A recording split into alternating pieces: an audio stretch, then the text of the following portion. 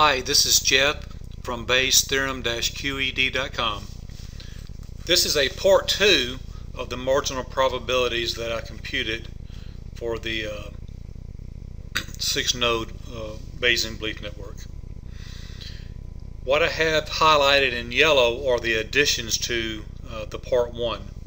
And what these are are the actual probabilities uh, of these uh, conditional probabilities. So for example, uh, we conducted an experiment and we collected our probabilities and our probability for A was 0.3 and uh, not A was uh, 0.7. And then our conditional probabilities uh, for C consisted of uh, probability of a B being probability of C given B was 0.45 this is the probability of C given not B, 0.55. And so the marginal probability of C is 0.502, and this is what we're computing. For B given A, the probability of B given A is 0.2, and then the probability of B given not A is 0.6, and the marginal probability for B was 0.48. For C, the conditional probability of C given B is 0.45 and then C given not B is 0.55.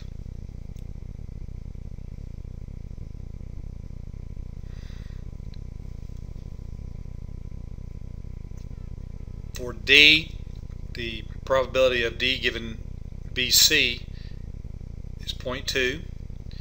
The probability of D given not BC 0.6, probability of D given B not C, 0.4, probability of B given not B not C is 0.8, and the marginal probability for D is 0.508.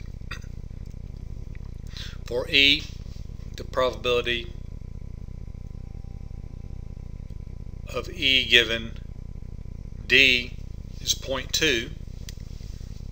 Let me draw that up here for you.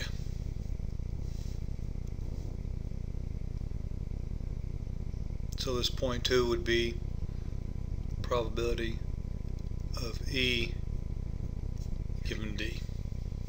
Okay. And so the probability of E given not D is 0.3.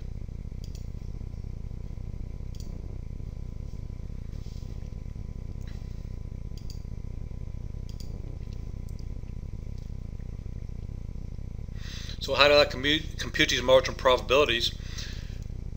I'll start with B. Probability B equals BA plus B not A.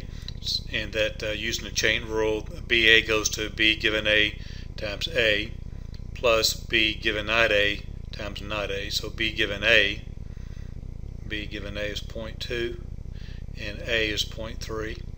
B given not A is 0.6 and B uh, in A uh, or not A is 0.7. So 0.2 times 0.3 is 0.06, 0.6 times 0.7, 0.42. Add those together to get 0.48, and this is where the 0.48 comes in B. For the probability of C, marginal probability will be CBA plus CB not A plus C not B A plus C not B not A. And I just wrote these down consecutively here. So CBA would be represented right here. CB not A would be represented right here. C not B A represented here. C not B not A represented here. And then all, all I did was use the, uh, the probabilities that uh, have already been identified. So the probability of C given uh, BA, C given BA, uh, we're not using A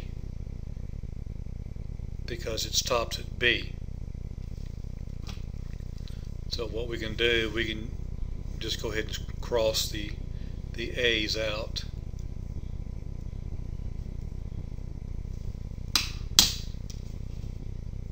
And so since this is this is a new, I'll just go ahead and mark it.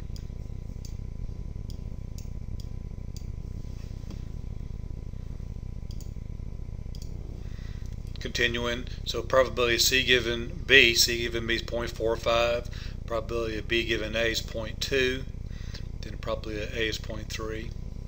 Multiply these together, get 0.027. Again, probability of C given B is the same, 0.45.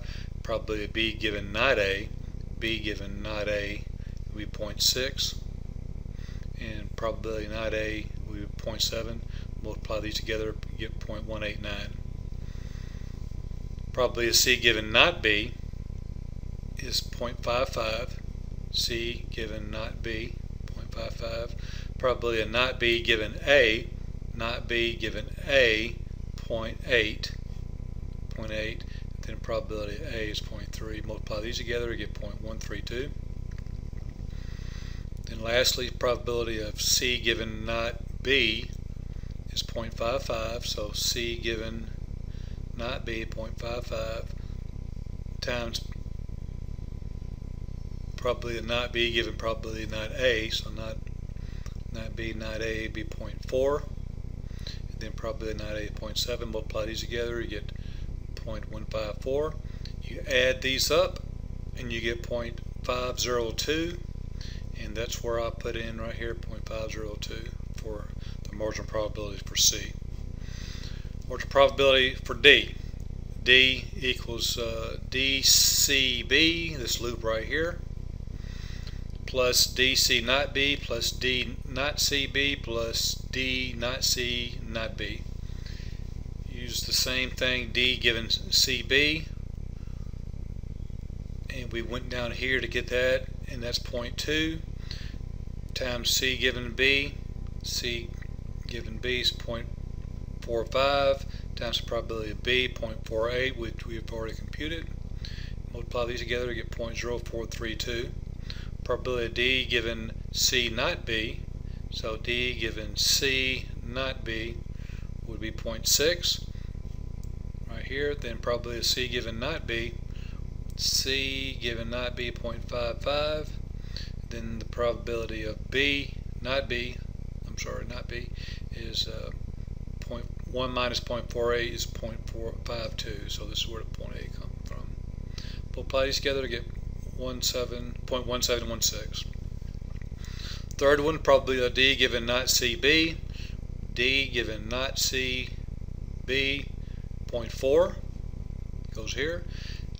Probability is C, uh, not C given B, so not C given B, 0.55 then probability B 0.48. Multiply these together to get 0.1056. Then lastly, probability of D given not C not B. So D given not C not B 0.8 times not C given not B, not C given not B 0.45 and then not B be 1 0.48, 0.52. multiply these together to get 0.1872 you add these up and you get 0.508 and this is where I put in 0.508 for D. For E, probability E equals ED plus E not D.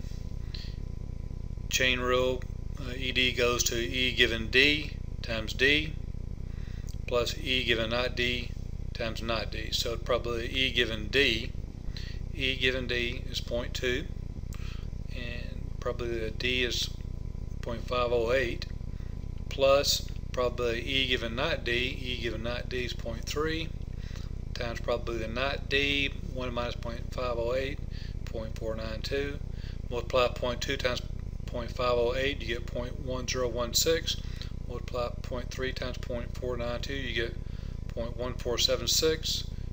Add these together, you get 0.249 for E and that's where I put in 0.249. Lastly, probability of F, I just took it over here. Uh, probability of F equals uh, probability of FD plus probability of F not D. Uh, chain rule breaks this down, probability of F given D times probability of D plus probability of F given not D times probability of not D.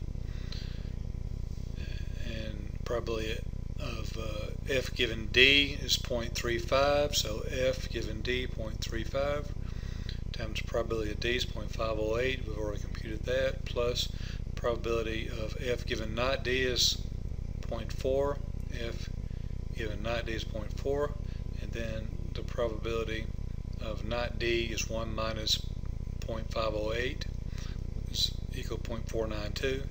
Multiply 0.35 times 0.508, you get 0.1778. Multiply 0.4 times 0.492, you get 0.1968.